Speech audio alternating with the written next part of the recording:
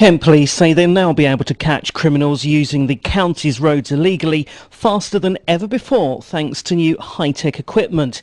Officers can now get a live feed of information from automatic number plate recognition cameras around the county direct into their patrol car. The system's linked up to various databases checking things like if the car's stolen or if the driver's banned. If a suspect vehicle is flagged up, the officers can then respond immediately. The evidence is there, be it they're a disqualified driver, the actual person is wanted for criminal offence, then they'll be arrested there and then. There might be other times when it's part of the investigation, they don't want the actual occupants to be arrested. Um, they're trying to build up a profile of that person's movements uh, and vehicles that they own. So we will just get their details, but it all depends on the circumstances surrounding what, what the needs are.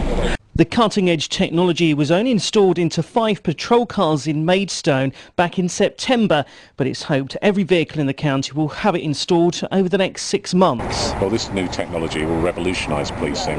It will enable officers to identify vehicles that are of interest and receive alerts within their patrol vehicles and be able to stop those vehicles immediately. And previously there would have been a substantial time delay. There's no doubt that we've been able to arrest people who wouldn't otherwise have been arrested.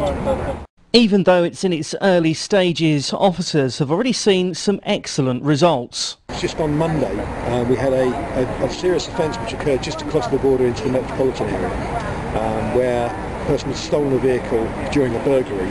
The vehicle was um, placed into the system immediately, and within an hour, activated a camera in Kent. Our officers were very close and arrested the offender, so it was a fantastic result.